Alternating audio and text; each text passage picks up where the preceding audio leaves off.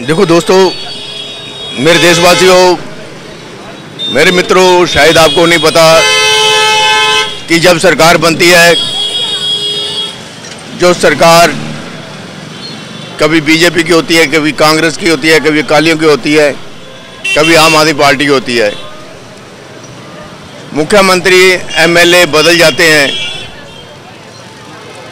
Party की सरकार बदल जाती है, लेकिन वहाँ जो अफसर होते हैं ना सेक्रेटरीट बना हुआ चंडीगढ़ में जो, जितने भी उसके अफसर होते हैं, सचिव होते हैं, वो सबके सेम ही रहते हैं। जितनी मर्ज़ी पाँच साल बाद सरकारें आती रही, जाती रही, लेकिन वो स्टाफ जो होता है ना क्लैरिकल हो गया ए क्लास हो गया बी क्लास हो गया फोर्थ क्लास वो स्टाफ नहीं बदलता। तो मैं आज आपको ये बात बताने जा रहा हूँ कि जो स्टाफ है वही होता है सेक्रेटरी वही होते हैं लाभ बनाने वाले, टेंडर लगाने वाले, प्रोजेक्ट बनाने वाले सब वही सेम होते हैं। एक जो होर्डिंग लगती है ना फ्रैक्चर लगती हैं, इसके भी वही आई एस अफसर जो हैं, सचिव हैं सेक्रेटरी हैं, जो प्लानिंग करते हैं, वही हैं। बादल के वक्त भी वही थे, अमरिंदर सिंह के वक्त भी वही थे, चन्नी के वक्त भी वही थे, और ये आम आदमी पार्टी के वक्त भी वही हैं। क्योंकि उन्हें मालूम है कि क्या लूप होल होते हैं जो होर्डिंग लगते हैं तो वो कैसे जो कन्विंस करते हैं पार्टी को कि आपको इतना नाम होगा, ये होगा, वो होगा, उसी के बारे में हम चलते हैं, देखते हैं जो शहर में होर्डिंग लगे हुए हैं फ्लैक्चर लगी हुई हैं। इसके पीछे क्या बात है, थोड़ा चर्चा भी करेंगे। पहले होर्डिंग देखते हैं जो शहर में लगे हुए हैं।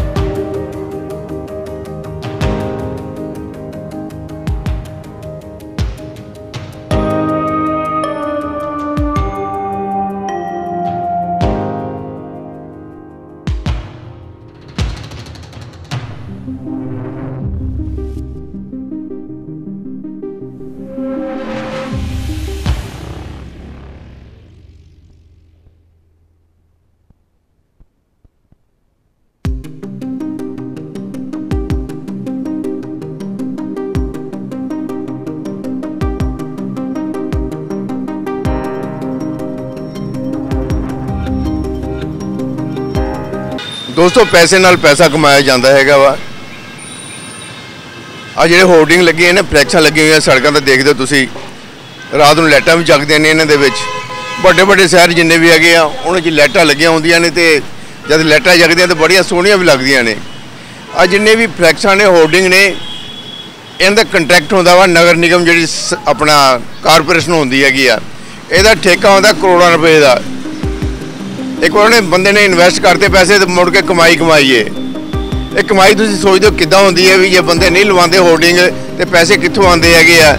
ਇਹ ਪੈਸੇ ਉੱਥੋਂ ਆਉਂਦੇ ਹੈਗੇ ਆ ਕਿ ਇਹਨਾਂ ਦੀ ਸੈਟਿੰਗ ਹੁੰਦੀ ਹੈ ਸਾਰੇ ਪਾਸੇ ਜਦ ਪੈਸੇ ਦੇਣੇ ਹੁੰਦੇ ਆ, ਮਹੀਨੇ ਬਾਅਦ ਕਰੋੜ ਰੁਪਇਆ 1.5 ਕਰੋੜ ਰੁਪਇਆ, ਸਾਲ ਦਾ 20 ਕਰੋੜ ਦਾ ਬਜਟ ਆ ਜਾਂ ਕਿੰਨੇ ਦਾ ਵੀ ਠੇਕਾ ਜਾਂਦਾ ਹੈ। ਤੇ ਫਿਰ ਇਹ ਲਾਉਂਦੇ ਹੈਗੇ ਆ, ਜਿੱਦਾਂ ਆਪਣਾ ਅਮਰਿੰਦਰ ਸਿੰਘ ਦੀ ਸਰਕਾਰ ਸੀਗੀ, ਅਮਰਿੰਦਰ ਸਿੰਘ ਦੇ ਲੱਗੇ ਹੁੰਦੇ ਸੀ ਬੋਰਡ ਹੱਥ ਖੜਾ ਕੀਤਾ ਦੇ ਅਮਰਿੰਦਰ ਸਿੰਘ ਨੇ। ਹੈ? ਪੰਜਾਬ ਨੂੰ ਅਸੀਂ ਇਹ ਕਰ ਦਿਆਂਗੇ ਨੌਕਰੀਆਂ ਦੇਵਾਂਗੇ। ਅਮਰਿੰਦਰ ਸਿੰਘ ਗਿਆ ਫਿਰ ਚੰਨੀ ਆ ਗਿਆ। ਉਹ ਚੰਨੀ ਤੋਂ ਬਾਅਦ ਫਿਰ ਹੁਣ ਆਏ ਆ ਪਾ ਭਗਵੰਤ ਮਾਨ ਜੀ ਆਏ ਆ। ਦੇਖੋ ਨਾ ਬੋਰਡ ਕਿੰਨੇ ਲੱਗੇ ਆ। ਉਹ ਜਿੰਨੇ ਵੀ ਪੈਸੇ ਦੇਣੇ ਹੁੰਦੇ ਨੇ ਸਰਕਾਰ ਨੂੰ ਉਹਨੇ ਇਧਰ ਪੂਰੇ ਕਰ ਦਿੰਦਾ ਉਹ। ਜਾਨੀ ਉਹਦਾ ਮੋਹਦੇ 'ਚ ਕੰਮ ਸਰ ਜਾਂਦਾ ਅਗਲਾ ਕਹਿੰਦਾ ਘਾਟਾ ਪੈ ਰਿਹਾ ਕਹਿੰਦਾ ਕੋਈ ਨਹੀਂ ਅਫਸਰ ਲੋਕ ਜਿਹੜੇ ਹੈਗੇ ਆ, ਕਹਿੰਦੇ ਬਾਬੂ ਜੀ ਫਿਕਰ ਨਾ ਕਰੋ। ਅਸੀਂ ਤੁਹਾਡੇ ਨਾਲ ਆ। ਸੈਟਿੰਗ ਹੋ ਜਾਂਦੀ ਹੈ ਕਮਿਸ਼ਨਾਂ ਮੁੱਕ ਜਾਂਦੀਆਂ ਨੇ ਤੇ ਫਿਰ ਲੱਗ ਜਾਂਦੇ ਹੈਗੇ ਸਰਕਾਰੀ। ਸਰਕਾਰ ਨੂੰ ਪੈਸੇ ਦੇਣ ਦੀ ਲੋੜ ਹੀ ਨਹੀਂ ਹੈਗੀ। ਇਹ ਜਿਹੜਾ ਵੀ ਹੈਗਾ ਨਾ ਇੱਕ ਵਾਰ ਅਸੀਂ ਚਲੇ ਗਏ ਨਾ ਕੋਈ ਲਵਾਉਣ ਲਈ ਆ ਜਿਹੜੇ ਹੋਰਡਿੰਗ ਜਿਹੇ ਲੱਗੇ ਆ, ਕਹਿੰਦੇ ਬਾਬੂ ਜੀ 5000 ਰੁਪਏ ਤੁਹਾਡੇ ਕੋਲ ਡੇਲੀ ਦੇ ਲਵਾਂਗੇ ਘੱਟ ਤੋਂ ਘੱਟ। ਮੈਂ ਕਿਹਾ 10 ਦਿਨ ਦੇ ਕਹਿੰਦਾ 50000 ਰੁਪਏ 60000 ਰੁਪਏ 70000 ਰੁਪਏ ਡੇਲੀ ਦਾ 5-10000 ਰੁਪਏ ਖਰਚਾ ਇਹਦਾ। ਮੈਂ ਕਿਹਾ ਯਾਰ ਇਹ ਤਾਂ ਬੜਾ 10000 ਰੁਪਏ ਰੋਜ਼ ਤੇ ਮੈਂ ਕਿਹਾ 50 60000 ਤੁਹਾਨੂੰ ਦੇ ਦਿੱਤੇ ਹੈਗੇ। ਫਿਰ ਮੈਂ ਕਿਹਾ ਨਗਰ ਨਿਗਮ ਦਾ ਜਿਹੜਾ ਬੰਦਾ ਠੇਕੇ ਦਿੰਦਾ ਹੈਗਾ ਵਾ ਕਹਿੰਦਾ ਬਾਬੂ ਜੀ ਅਸੀਂ 1 ਕਰੋੜ ਰੁਪਏ ਮਹੀਨੇ ਦਾ ਵੀ 2 ਕਰੋੜ ਦਾ ਦੱਸਿਆ ਉਹਨੇ ਕਿਉਂਕਿ ਉਹਦੀ ਵੀ ਨਾਲ ਕਮਿਸ਼ਨ ਹੁੰਦੀ ਹੈਗੀ ਆ। ਉਹ ਤੋਂ ਬਾਅਦ ਫਿਰ ਵੱਡੇ ਅਫਸਰਾਂ ਦੀ ਕਮਿਸ਼ਨ ਹੁੰਦੀ ਹੈਗੀ ਆ। ਉਹ ਫਿਰ ਕੁੱਲ ਮਿਲਾ ਕੇ ਕਾਲਾ ਮਾਲਾ ਇਹ ਚੱਲਦਾ ਰਿਹਾ ਪ੍ਰਕਾਸ਼ ਸਿੰਘ ਬਾਦਲ ਦੇ ਟਾਈਮ ਤੋਂ। ਉਹ ਜਦ ਕਹਿੰਦੇ ਸੇਵਾ ਅ, ਯਾਨੀ ਕਿ ਅ, ਰਾਜ ਨਹੀਂ ਸੇਵਾ ਉਹ ਸਲੋਗਨ ਚੱਲਿਆ ਸੀ ਉਸ ਵੇਲੇ ਬਾਦਲ ਵੇਲੇ। ਯਾਨੀ ਕਿ ਕਹਿਣ ਦਾ ਮਤਲਬ ਲੋਕਾਂ ਦਾ ਟੈਕਸ ਇਹਨਾਂ ਦੀਆਂ ਫੋਟੋਆਂ। ਤੇ ਲੋਕੀ ਫਿਰ ਸਬਕ ਵੀ ਸਿਖਾਉਣ ਲੱਗੇ ਹੈਗੇ ਆ ਫੋਟੋਆਂ ਦੇਖਦੇ ਨੇ ਕਹਿੰਦੇ ਯਾਰ ਇਸ ਬੰਦੇ ਨੂੰ ਹਰਾਣੀ ਨਾ ਐਤਕੀ। ਇਹ ਬੰਦਾ ਸਾਨੂੰ ਚੁੱਭਣ ਲੱਗ ਗਿਆ ਹੈਗਾ ਵਾ। ਯਾਨੀ ਕਿ ਆ ਜਿਹੜਾ ਵਧੀਆ ਕਾਰੋਬਾਰ ਹੈਗਾ, ਜਿਹਨੇ ਇੱਕ ਵਾਰ ਪੈਸੇ ਲਾਤੇ ਮੁੜ ਮੁੜ ਕੇ ਕਮਾਈ ਕਮਾਈ ਆ। ਆ ਜਿਹੜਾ ਫਲੈਕਸਾਂ ਦਾ ਰੇਟ ਆ 5000 ਰੁਪਏ ਰੋਜ਼ ਦਾ 7000 ਰੁਪਏ ਰੋਜ਼ ਦਾ, ਜਿੰਨਾ ਦੀ ਸੈਟਿੰਗ ਹੋ ਜਵੇ। ਵੱਡੀਆਂ ਜਿਹੜੀਆਂ ਕੰਪਨੀਆਂ ਨੇ ਫਿਰ ਕਹਿੰਦੇ ਯਾਰ, ਅਸੀਂ ਲੁਧਿਆਣੇ 20 ਬੋਰਡ ਲਵਾਣੇ ਆ ਹੋਰਡਿੰਗ ਲਵਾਣੇ ਆ, ਕੋਈ ਨਾ 10 ਲਵਾਣੇ ਹੈਗੇ ਆ। ਉਹਦੇ ਨਾਲ ਸਾਰੇ ਸੈਟਿੰਗਾਂ ਹੋ ਜਾਂਦੀਆਂ ਸਰਕਾਰ ਦਾ ਜਿਹੜਾ ਪੈਸਾ ਦੇਣਾ ਹੁੰਦਾ ਵਾ, ਉਹ ਠੇਕੇਦਾਰ ਜਿਹੜਾ ਕੰਟਰੈਕਟ ਹੁੰਦਾ, ਇਧਰੋਂ ਪੂਰੇ ਕਰ ਲੈਂਦਾ ਜੀ, ਤੁਹਾਡੇ ਇਹਨੇ ਬੋਰਡ ਲਾਤੇ ਮੈਂ, ਤੇ ਪੈਸੇ ਦੇਣ ਦੀ ਲੋੜ ਨਹੀਂ ਉਧਰੋਂ ਕਮਾਈ ਇਹਨੂੰ ਹੋ ਜਾਂਦੀ ਹੈਗੀ ਆ। ਵੀ ਸਮਝ ਆਇਆ ਕਿ ਨਹੀਂ ਆਇਆ? ਮੰਡੀ ਤੈਨੂੰ ਵੀ ਨੀ ਸਮਝ ਆਇਆ ਕੁਛ। ਉਹ ਯਾਰ ਸਰਕਾਰ ਇਹਨੂੰ ਪੈਸੇ ਦੇ ਦਿੰਦੀ ਹੈ, ਜਿੰਨੇ ਨੇ ਸਰਕਾਰ ਨੂੰ ਦੇਣੇ ਹੁੰਦੇ ਹੈਗੇ ਆ, ਬਰਾਬਰ ਹੋ ਜਾਂਦਾ ਹਿਸਾਬ। ਨਹੀਂ ਸਮਝ ਆਇਆ ਸਮਝ ਆਣਾ ਨਹੀਂ, ਤੁਹਾਨੂੰ ਸਮਝ ਆਉਂਦਾ ਤਾਂ ਬੋਲ ਹੀ ਨਾ, ਤੁਸੀਂ ਸਮਝ ਕੇ ਪਾਉਂਦੇ। ਚੱਲ ਮੰਡੀ ਛੱਡ ਪਰ ਯਾਰ।